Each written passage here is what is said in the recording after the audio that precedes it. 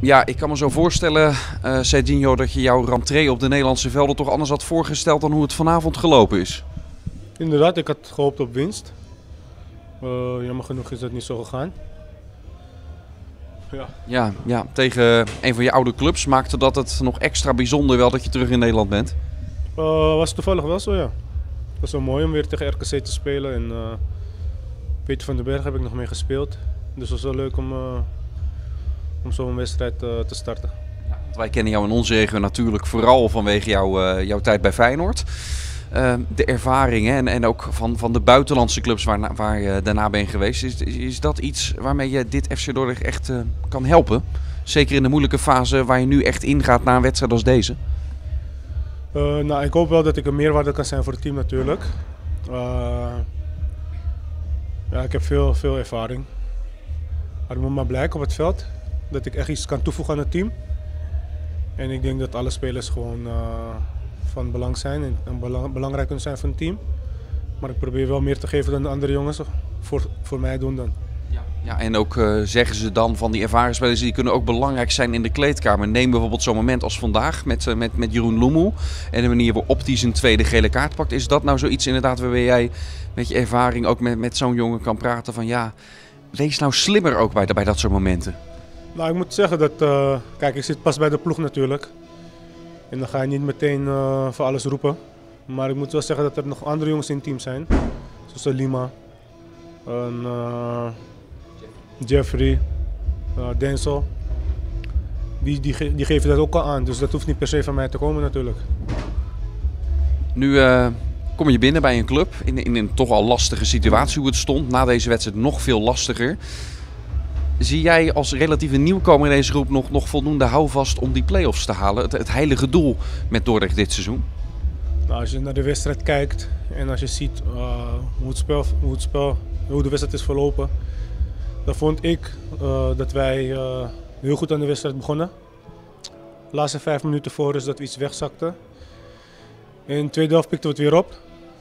Maar ja, dan krijg je een rode kaart. En dan wordt het moeilijk. Nou, als we, zo, als we die, die, die eerste helft kunnen vasthouden en door kunnen trekken naar de volgende wedstrijden, dan denk ik dat er, dat er wel mogelijkheden zijn.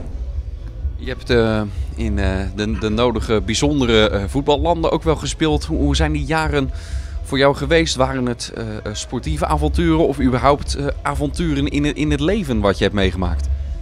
beide denk ik. ik heb in een paar landen gespeeld waar we gewoon Europees speelden. Ook een paar landen waarvan, uh, ja, daar speel je geen Europees en is het zeg maar gewoon, uh, ja, je speelt de competitie, je bekert. Maar dus alle landen hebben wel, uh, heb ik wel veel geleerd. Dat is wel een mooie ervaring.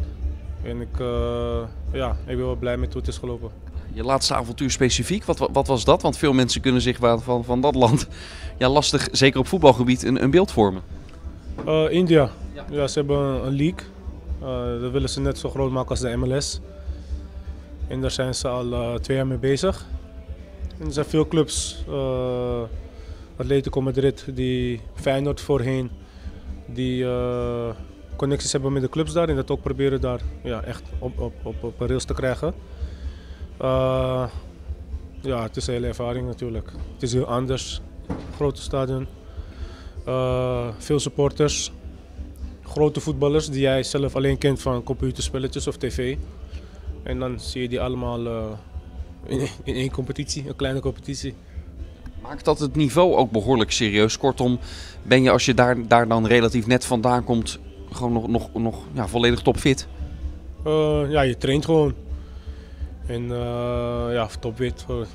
Nou, ik bedoel, je, je, je kan trainen en, en, en, je kan trainen natuurlijk. Is, is het een afbouwcompetitie of is het inderdaad serieus dat je gelijk door kan stromen hier in het Nederlands voetbal weer? Uh, nou, moeten we nu blijken toch? Ik heb vandaag gespeeld, dus blijkbaar kan het gewoon doorstromen. Maar het is, wel, het is een ander soort competitie. Je, je speelt met ervaren jongens. En zoals je ziet, het is niet alleen maar Europa waar mensen willen spelen. Er komen steeds meer landen bij. En ja, wat is nu de top? Het gaat gewoon nu ja, alle kanten op. Hey, ten slotte, Feyenoord, dat, eh, dat, dat blijven de meeste mensen die daar hebben gespeeld, die, die blijven dat toch een beetje altijd voor altijd. Je hebt daar best wel een tijdje gezeten zo'n halve finale als gisteren, het bereiken van de, van, van, van de bekerfinale. Ja, jij weet, zeker in de fase waar de club nu in zat, wat dat daar teweeg brengt, hè? Uh, ja, is mooi. En ik hoop ook dat, uh, dat, ze, dat ze hem kunnen pakken dit jaar. Ik, ik begin over je begint gelijk te stralen in je, in je, in je ogen en, en, te lachen. Zit dat inderdaad bij jou nog diep erin? Omdat je denkt aan die tijd dat jij er speelde en dat, uh, dat we de beker hebben gewonnen. Dat was wel mooi, is wel een speciale ervaring. Gaat het weer gebeuren, denk je? Wat is je prognose? Uh, met Gods wil wel. Met God wil, Gods wil wel. We moeten maar kijken. Ze zijn, nu hebben, zijn ze daar en uh, Feyenoord heeft het hard nodig ook. Uh, het is een met ups en downs. Maar ik hoop dat ze deze wel pakken.